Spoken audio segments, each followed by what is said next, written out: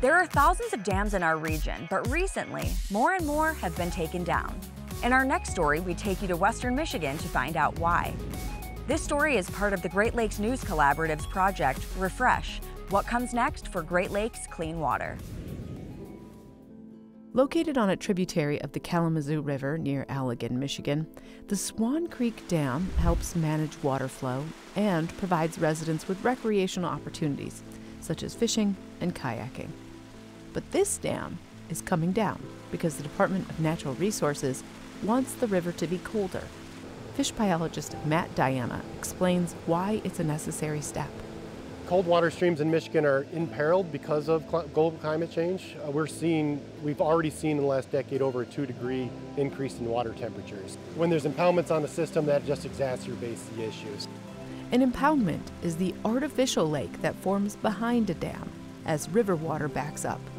The sun can heat the water in an impoundment more than it would heat a flowing river, and the effect can be surprisingly large. They're creating water temperature warming, in addition to what global climate change is causing. Our monitoring here shows it heats it up about 10 degrees. That's enough heat to cause some major stress for certain species of the Great Lakes region, especially for trout. So as the water's warm, uh, we're starting to lose more and more trout. We use a threshold of 68 degrees for trout survival. Above that temperature, they, they don't grow well and they don't survive well.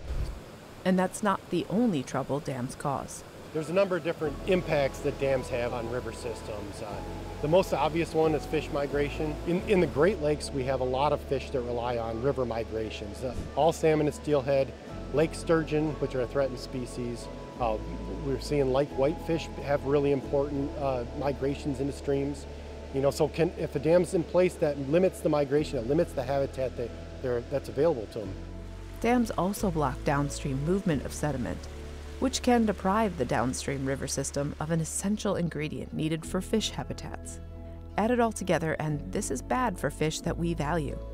On top of this, many dams around the Great Lakes region have another problem. They're old. In some cases, they've outlived their usefulness and they're expensive to maintain. Swan Creek checks both of those boxes. This dam, particular dam was built in 1937. A lot of dams were built around early 1800s, mid 1900s, and then a lot of hydro dams were built associated with kind of World War II. All of those dams are old. The concrete used, the construction used are usually 50 year type construction. So most of them are past their living lifespan. They're either requiring maintenance or constant uh, kind of band-aid fixes in order to keep them uh, in place. The hefty cost of maintenance and repairs deters some from taking action, but ignoring aging dams presents enormous risks. When older dams aren't maintained, a breach or a total failure can occur, and that can spell disaster to the surrounding area. There it goes. There it goes. Midland, Michigan's a good example of a dam failure and, and the kind of impacts that are, happen when a dam fails. Breaking news coming from Michigan this morning. The 2020 failure of the Edenville and Sanford dams in Midland resulted in over $250 million in property damage and extensive harm to the fishery. To help prevent disasters of this scale and defend against climate change, a wave of dam removal projects is happening right now in Michigan and across the U.S. As these dams age, they're really not serving a purpose other than creating an impoundment. And uh, so we're looking at opportunities when these dams age, instead of repairing them, there's a lot of money out there to do things like removals uh, through grant programs and state-funded programs to try and improve fish habitat. A recent influx of state and federal money allows the DNR to remove more dams than previously financially possible. The DNR prioritizes dam removals in a number of different ways. One way we prioritize it is by the risk of the existing dam.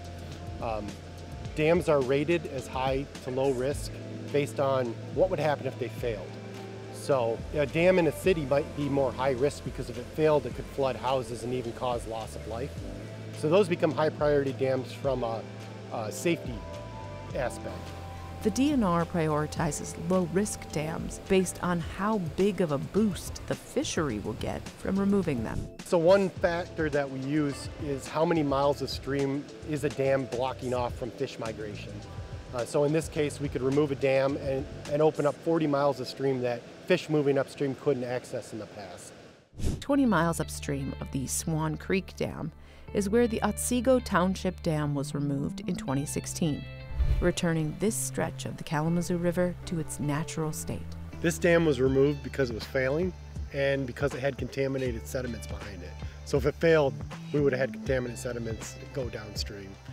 Since removal of the dam, researchers from Western Michigan University routinely monitor the area. Today, Dr. Tiffany Schriever and her team of grad students gear up to get a close up look at the recovering system. We were out here collecting fish and macroinvertebrates uh, doing water quality sampling for a food web study that we have going to look at uh, influences of restoration and dam removal on um, the ecosystem.